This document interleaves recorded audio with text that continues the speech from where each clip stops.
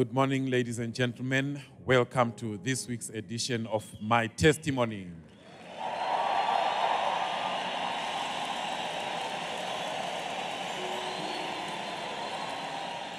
Now, in this program, we take time to analyze a few from the many thousands of miracles that God is working out through the hands of Prophet Emmanuel Makandiwa.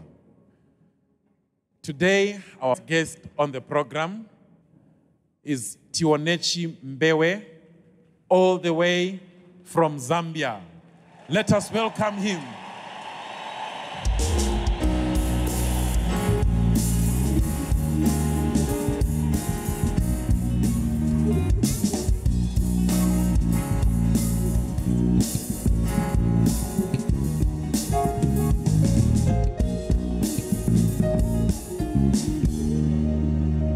Welcome him, let's welcome him, let's welcome him.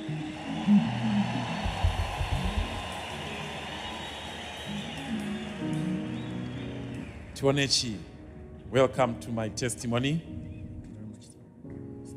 Mama, welcome to my testimony. Please be seated. Thanks.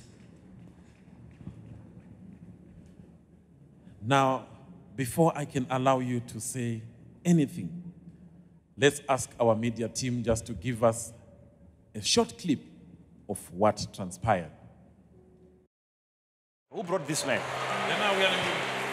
Explain to me what is happening. It was reviewed that he was supposed to go to the studies overseas. Uh-huh. Now, what happened after some time, he was disappointed. The KCM company was the one who was supposed to take him abroad. Uh-huh. Now, due to the sponsorship from the company, then he started, uh, stop talking. He was not eating, was not bathing, was just sitting at one place. Not eating, not taking a bath, not doing anything. Yes, He just went quiet. yes. Ha. What is that? What could that be? Doctor, can that be explained? What is- Man of God, medically, it's difficult to explain it.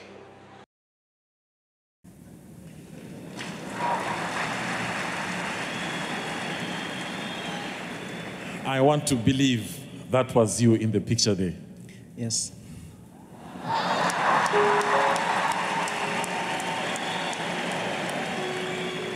Now, can you tell us what were you going through?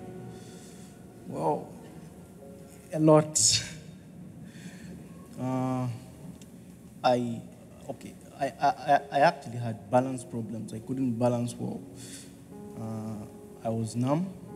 Uh, my body, I, I couldn't control my fingers. Sometimes they could, I could, could have that clicking sound. In They your were stiff, fingers? yes. I, I had problems walking, and I wasn't. I wasn't myself. It's. I was just stuck in between the earth and somewhere. I wasn't. I wasn't. You were stuck in between the earth and somewhere you don't know. Yes. So obviously, you can't tell us much. Mama, it's over to you. What he's your son, right? I have to thank you. This one, after finishing his grade 12, he did. He started going for A levels. So the E is uh, CE. C, they promised him that after you finish the A levels, we'll send you abroad for uh, scholarship. They'll give him scholarship. Then the company said, no, we can't do that because we, we don't have money this time. So from there, after he heard that news, he had to lock himself in the room, no eating, no talking to other people, anything, was just confined in a bedroom. Then from there, if somebody goes there, he can just lock the bedroom. By chance, you take off the, the keys, then he can't lock himself. Then he started hitting himself uh, to the wall. Hitting himself to the wall, then we were just. By hitting himself to the wall, do you mean like hitting the wall with his fist or throwing himself against the wall? Just using his head, just using his head, going into the well like this. From there, I can just be sitting in the corner. Without putting on a shoes or anything, or just a cloth. And you, you couldn't change, he, he didn't want to change anything. He was just there. If you give him food, he, uh, he can just mix them together. He put food in the water, but without eating them. So from there, uh, some people said no, advice from people, they said no, maybe the environment, take him somewhere. I took him to, uh, to Malawi. Malawi there I couldn't change. There they decided to take him to the hospital. From the hospital. But bef- before he went to Malawi, had you ever taken him to any hospitals in Zambia? Yes, I did. I did. I, I took him to the hospital. They tested everything. Eh? Uh, full blood counter. Then they said he's got nothing. He's okay. Even HIV, because the way he's behaving, we, we thought that is a loss of memory. Sometimes, if he's positive, he's go, uh, that's the way they do some. So they did everything. They said, no, he's negative. This boy is just okay. Then they gave him medicine. From there, it made him worse. It made him worse. Now, Sorry, the medicine they gave him, if they said, we have checked and this boy is okay, what medicine did they prescribe for him? What was it to correct?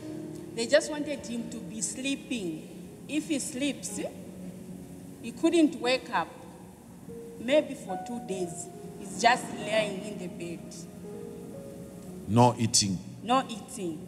So I said, "Mm, what type of these drugs is just too much? Then I stopped him. I said, no, this is too much. How can somebody be sleeping for two days without seeing him? Then, then I invited my brother from Malawi. So he came and he, helped, he, took him. They went together. Me, I remained home. There he took him to the hospital. There they said again, they asked, what type of drug did he, they give this boy? I just SMS that drug to the, to the doctor. Then the doctor said, no, this is the wrong medicine. As we are going to start him uh, another dosage. Then they started giving him a different dosage again. There, numbness a bit, but he was not all that. Um, he was not getting better, so I can say. Then my brother, they stayed there for a month. Then my brother said, "Mm, "This, we are not going anywhere. If they go for review there, they say, "Ah, keep on giving him some drugs." So they said, "Ah, so there's nothing I can do. That's my, my, my brother said so. So he decided to bring him over. Then my brother said, let's meet somewhere uh, in Chipata, near Malawi, at the border post. Then I went there again. We, I went there to pick them up. When, when you met him at the border in Chipata, Yeah. was he looking any better? Was he? It was worse because you can, I could even see the eyes twisted now. This, this uh, pupil, like Yes. pupil going the other way, even the other side. You mean like look one eye is facing this side Yes, and sir. this eye is facing that side? Yes, he, was not looking straight. So my brother, when coming with him, we could uh, give him some, some um, sunglasses for him to at least not to draw attention of people. I can imagine. And whilst this is happening, you are not even aware of. Okay, my. I was. I was convinced within myself. Uh, I think I was right. That's what I told myself. You are telling yourself, I, I think I'm okay. I'm okay. But the people around me were saying, no, you are not okay. Means, You're not, you're not, you're not looking the you. I can imagine, Mama, your son, he's going through all that. You are looking up to him, he's just passed well and is going to the next stage of life. What were you thinking? It was terrible. I had no peace. I was not comfortable. I was not happy at all. I was, I was very, very sad. Indeed. So from there is when um, I took him to the one of the churches there. the way they were praying again, they could put him. Where is this now? In in, In Chipata Chipata? yeah. Okay. Our friend, that's the uh, introduced us there to, to that church. They could be singing some song to him. We stayed there for a week. Then I said, "There's no change. Let us just go back to our place." I, we went together. Even my brother said that now I cannot leave. You can let us just go together.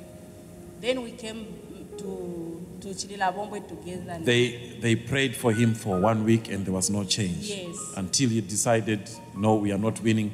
Let's go back home. yes, it's me now deciding. I'm sorry, I'll have to cut you short there. Ladies and gentlemen, we'll just take a short break. We'll be right back after these messages.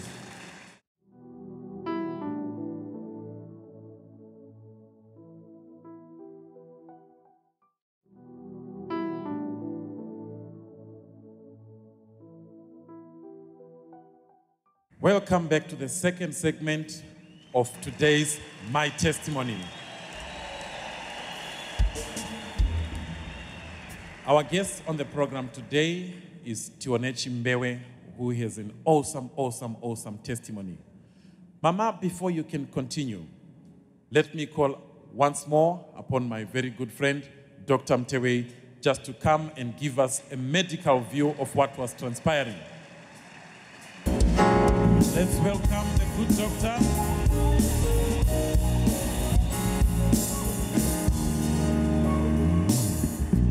Thank you so much. Now, I don't know if you are the right person to call. I saw on the video there you were a bundle of confusion. You were saying medically it, it cannot be explained. Have you done a research and looked into what was happening to this young man? Yes, man of God, I think now I can explain not everything, but some of it. You know, the problem with my medical field is we are physical. We deal mainly with the physical, and we are strictly limited to the physical. And if something happens to somebody which is spiritual, there is kind of a denial in our field. And that is what was happening to him. What we tend to do is we group up a number of symptoms and we give them names so that at least we can be able to manage the physical things which are occurring in a human being. So, from my brother here, he had symptoms of what is called schizophrenia. Schizophrenia is a mental illness which causes one to behave like he's not part of the society. He was hearing some voices. The mother was saying he would hear people talking to him no one else would see those people. He's just hearing voices. We call them auditory hallucinations. He was having hallucinations. And spiritually, it can be explained, but medically, we just call them hallucinations. And you end there. We end there, yes. And in addition to that, he was like somebody who was dissociated from the society. And he also had a condition which we call catatonia. Catatonia is when, like, you want to move, you can't move. Your body is like it's frozen in one condition. The mother was telling me that you would just maybe sit in one position and you wouldn't change. Or you would stand and stretch his arm and you would be in that position for even hours without changing. So it's like he's locked inside. He wants to do something, but the body is frozen. Mama, he would stretch his hand and then be in that position for hours, Yes. like I am doing now. Yes. That position or down, it points down the finger just like this for a long time. If you try to remove the hand, then he, he goes back just like that. So medically, we call that catatonia. It's like somebody, your body is now frozen. Your joints, your muscles, even the speech, all the actions are now frozen. Inside, the person inside is trying to do something, but the body is like it's refusing. It's like there's now a battle between the person inside and the physical body on the outside. Okay, maybe this explains it because he says I was caught in a position somewhere between the earth and another world out there. This is how he put it. He's trying to explain that probably the inner man wants to do this, but the body is responding in a different way. Most likely, that's exactly what he's describing. The inner man was already somewhere else. The body was trying to do something, but these two were no longer working together or moving together. There was a dissociation between the inner man and the physical man. Now, obviously, as doctors, you'd always try and do something. They prescribed drugs for him, and the drugs, like the mother is alluding to, they only made him worse. There was no positive change. The only change there was negative. Is this uh, condition curable? Were the doctors doing something wrong, or they really tried their best? Well, I wouldn't blame the doctors. The doctors were giving him something to kind of tranquilize him, to calm him down. Because, mind you, somebody who was violent sometimes. You would hit the wall, would be a danger to himself and a danger to even the people around him. So sometimes in those conditions, doctors will give drugs which can make one drowsy or sleepy. But sometimes those drugs can overdo it and make you sleep for a long time. So we'll now be choosing between him being awake, injuring himself and other people, or him being asleep and maybe just waking him up and giving food, just that. So it's just a choice between those two. But those drugs, they don't reverse the condition. You are just controlling the, the symptoms only. So this is just like a temporary measure to sedate him and then get some peace from him at least. Yes, it's just a temporary measure and just hoping that somewhere, somehow, something will happen to reverse it. Now, Mama, the doctors in Zambia have failed. The doctors in Malawi have failed. You took him to another church. I'm sure you're beginning to sense that only the spiritual is my option. You took him to that church. They prayed for him for a week. Nothing was changing. Now you're back home, but you still have the problem. Your son is not well. I just uh, heard people were saying, no, take him to Pastor Ernest. There's one who is preaching here. You haven't heard that you have heard about. Yeah, take him there. At least that man is going to do something. I said, okay, I'll meet him to the church. So I went to the church. I'm sorry, I have to cut you short. Ladies and gentlemen, I know you're itching to hear what transpired next, but we just have to take a short break. We'll be right back after these messages.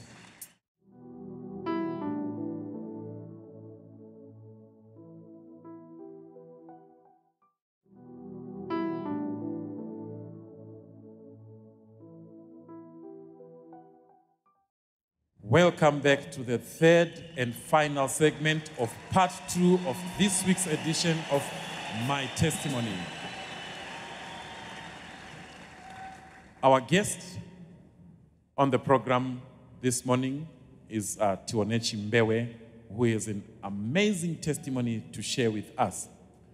Before we went for the break, you were just telling us that some people advised you to take your son to a particular church. Yes. Then I went there on Sunday service. They preached after the service. I, uh, I find Pastor Ernest. I said, Pastor, I want to see you. Then he came closer to me. What can I do for you? He, I said, I've brought this son to you specifically. Me, I've failed what to do. I've tried, but I've failed. He looked at him, he was very sad. He was disturbed, the pastor himself. Then he said, I think, you know, me, the only people who can help us, I think we have to take him to Prophet Emmanuel Imakanjiwo.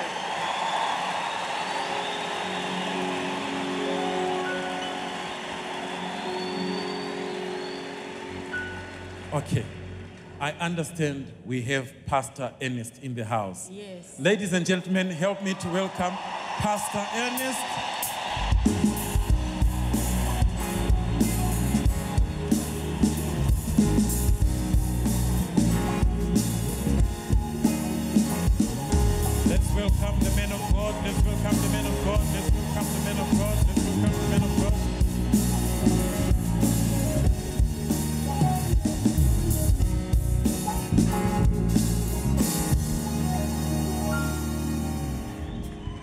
Pastor Ernest, welcome to my testimony.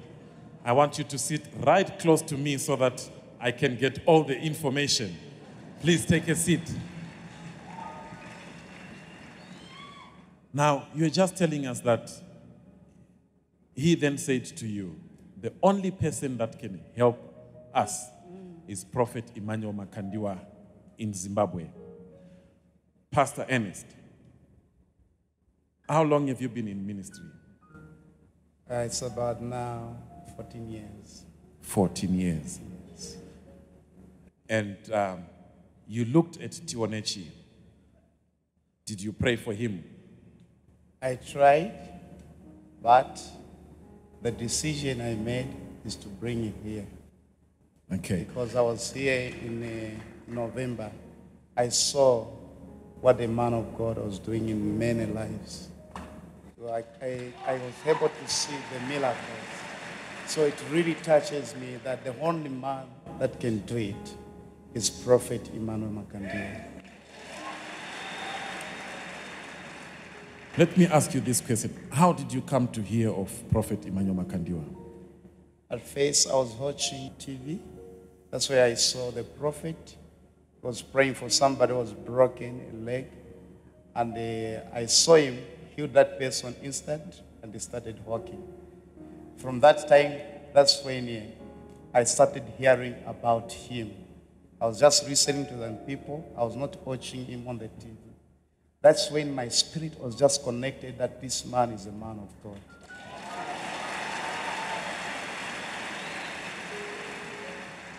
Then you made the decision to come. Yes, sir. All right. That's interesting. Now, Pastor Ernest says that to you that the only man that can help you is Prophet Emmanuel Makandiwa in Harare. What's next? I couldn't even hesitate because I was so desperate. I wanted him to be healed and to go back to school. I had no choice got, because I didn't have any hope for the things which he was doing. So I said, no, just take him wherever. Me, I'm ready. We'll try to look for, oh, whatever, transport, whatever, we can do that, I can do that. Help us. Then uh, three days later, they started off the journey. They started off the journey. Two of them. He was not talking. So you didn't come with them. No. You no. left him in the hands of Pastor Ernest. Yes. Okay? Yes, I said, no, just go with him. Me, I'm remaining behind. Because me, I've traveled, I've failed, but now this time I've given to you. Now do the best to him. That's the only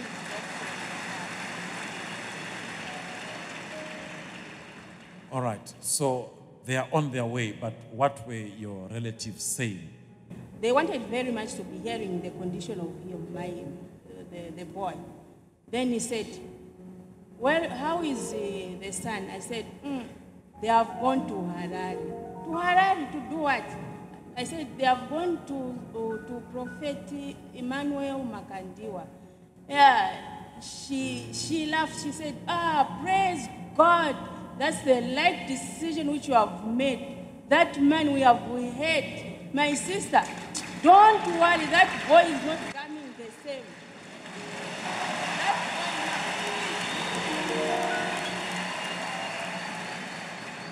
This is your sister in South Africa now. Yes. She's saying you've made the right decision. Yes, right decision. That boy will never come the same, and don't worry about it. Me, I've got no doubt about it.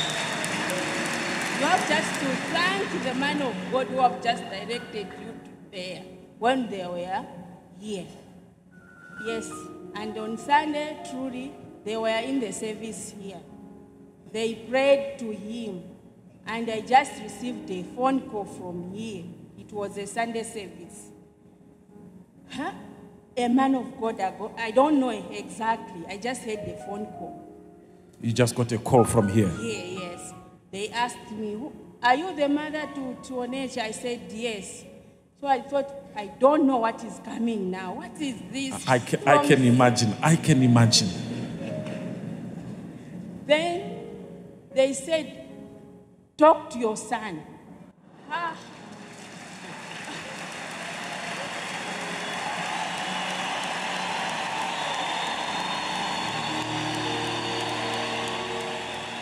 Talk to your son, and they gave him the, they, they gave him the phone. He said, "Mom, how are you? Me, I'm fine here."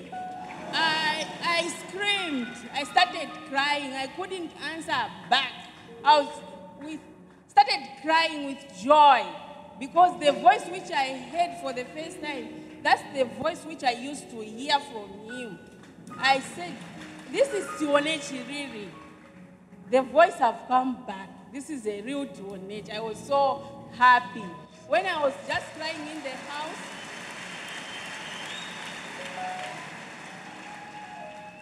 when I was just crying in the house, then children comes to me, they said, Why are you crying, man?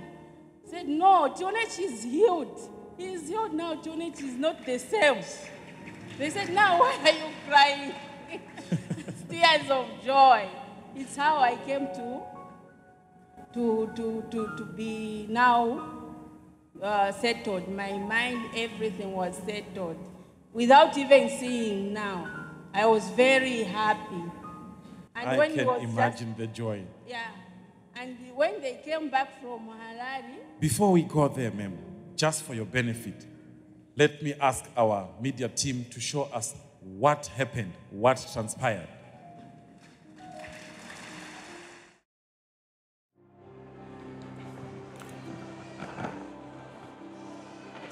I transfer life into you.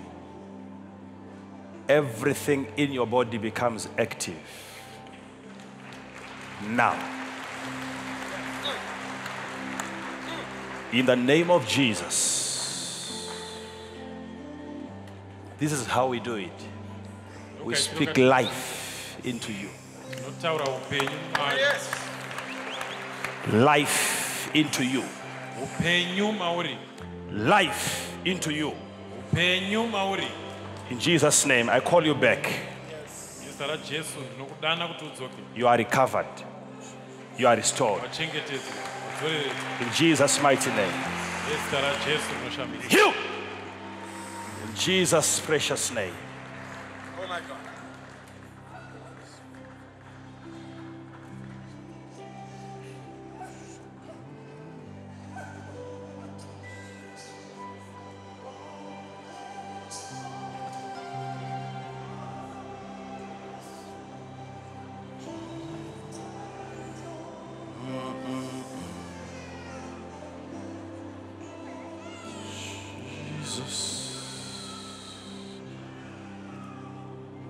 Name is Jesus. Zita rake ndiJesu. He raises the dead.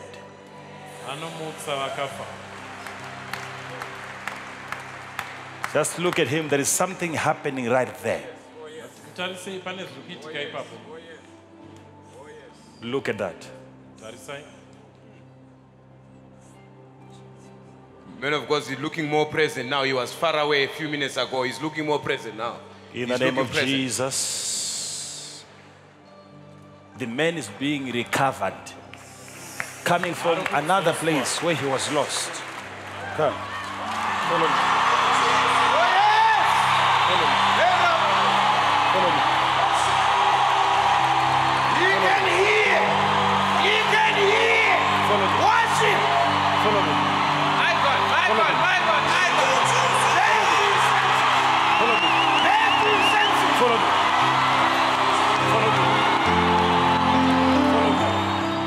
Jesus. Jesus.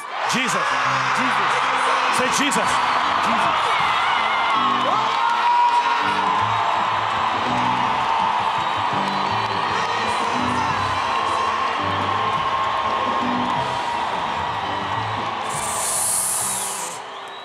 Let's do an interview. What is your name?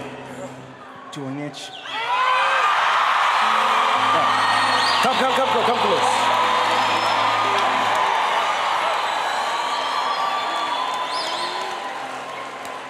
Look at the colleague. Just look at the colleague.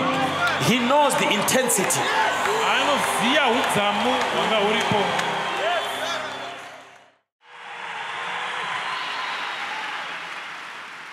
Man of God, there's something which I noticed as the man of God was praying to him. In the medical field, as we study the brain, there's an area of the brain which controls speech, and it's on the front, on the left side. And as the man of God was praying for him, we call it the Broca's area. That's exactly where he was touching the part which controls the speech. And I know the man of God is a prophet. He doesn't just do actions for just doing actions. And as he was saying, I'm activating the body. He was touching the exact area which controls speech in the body. I don't know whether he studied neurology or not, I don't know. But remember remember he is the doctor of doctors right yes, man of God. But the amazing thing also is that, you know, the information that he got, he was able to pick it up prophetically. Because he's saying, I call you back to life. Yes. And Tiwonechi is just confirming that he was in between the earth and another, Another area world. out there, which means there was no life in him. And yet the man of God is able to call him back to life, to re inhabit this body. Yes. As the man of God was praying for him, you could see his right arm, Tiwonechi's right arm. Yes. It was in this position. It was just frozen in one position. And all of a sudden, he could put it down. Yes, And he began to follow the man of God. Yes. And even run after him. Can see, Mama, you're laughing now. This is this has all of a sudden become a laughing matter for you. You're laughing at Pastor Ernest as he's rolling on the floor. You're la- Yes, man of God. Really, He has helped us. He has helped me. He has helped my life, oh God. I pray, I pray for Pastor Ernest as well as Prophet and Prophetess Emmanuel Makandiwa. And this All right. Because of time, just one more question. Now that you're back to life, what's next? the illness really it was a drawback when the man of god prayed for me just just right after he prayed for me as i started running that's that's when i felt that that burden has been lifted off my shoulders it's, it's, it's gone and when it's, it's over a sudden i was everything that was happening to me it was like i'm back to myself i could no longer feel the numbness It was That's gone. It was gone. When I slept the, the following day, everything came back to normal. You, you see, when he, when he touched me, that's, that's when I, I realized that my body was just, I was apart. I wasn't, I wasn't okay. Because to me, I was like, ah, but when I'm taking these medicines, I think I'm all right. I'll be fine. But when he prayed for me, that's when I actually, it was, it was a big burden that was on my shoulders.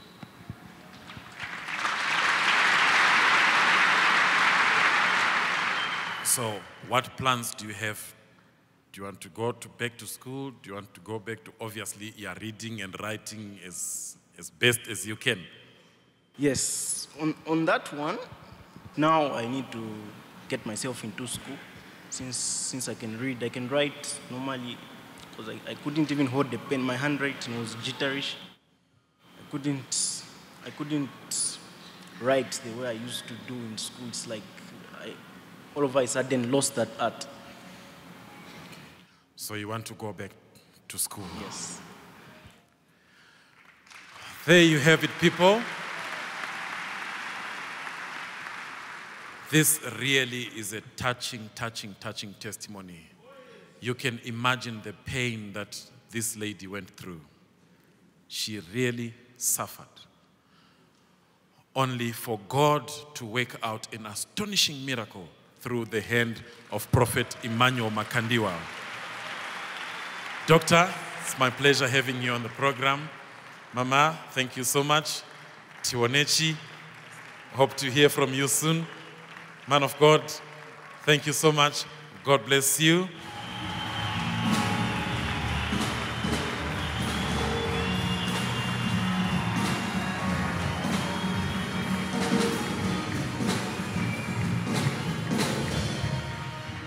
Ladies and gentlemen, we are in that season wherein if you have anything around you that is dead, God has raised up a prophet. God has raised up a prophet. We just want to tap into the same anointing. If you have anything that is dying or anything that is dead around you, I just want you to take advantage of this moment, take advantage of the anointing that is prevailing in the house, lift up your voice and begin to speak life over every area, every facet of your life.